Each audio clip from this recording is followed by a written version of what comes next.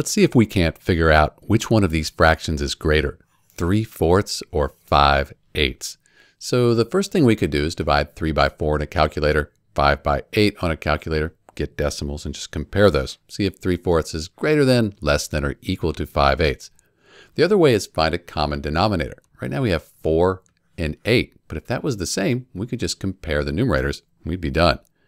Let's do this. How about 4 times 2? Because 4 times 2, that equals 8. Down here we already have 8, so let's just keep this as 5 eighths. But up here we multiply the denominator by 2. That means we really do need to multiply the numerator by 2 as well. 2 over 2, it's just 1. So we're multiplying by 1. We don't change the value, just the way it's represented. 3 times 2, that's 6. And 6 eighths, that's an equivalent fraction to 3 fourths. They're both equal to the decimal 0.75. Now, same denominator, compare the numerators. And you can see 6 is larger than 5. So 6 eighths, that's larger than 5 eighths. These are equivalent. 3 fourths, that's also larger than 5 eighths. This is Dr. B. Thanks for watching.